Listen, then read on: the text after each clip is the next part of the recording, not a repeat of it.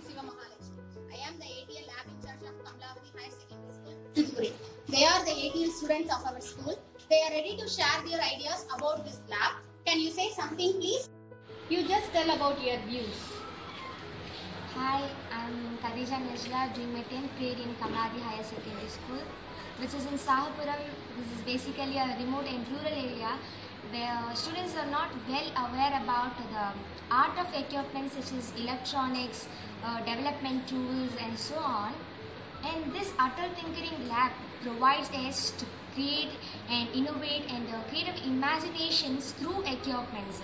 We could able to invent something new in our students in school life itself.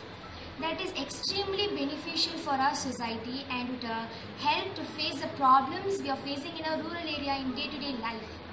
And so, um, words fell short how it is most beneficial for beneficial for us. And finally, that's all that it contributes for the development of our country. And uh, we are proud that we deserve it. And we have started designing uh, electronics, robotics, and launched uh, science projects. And uh, thank you so much. That's all about the views uh, regarding this SPL lab. Hi, I'm Shivagami from Kamlavati Higher Secondary School. I'm doing 10th standard in this school. We are having the Atal Tinkering Lab to know more about robotics. Atal Tinkering Lab are dedicated where we are learning innovation skills and developing ideas. So we go on to transform India. The labs are powered to acquaint the students with the students' arts. I'm Aisha, class uh, studying in class 10. In my point of view, here we are trained on entrepreneurship skills including intellectual property, effective communication, etc.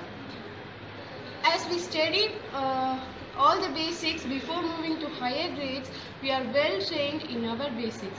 It will be more useful for the community as this sort of lab is useful for solving many problems important for the community. Surely, through this we will make an innovative society rather than an imitative society. Thank.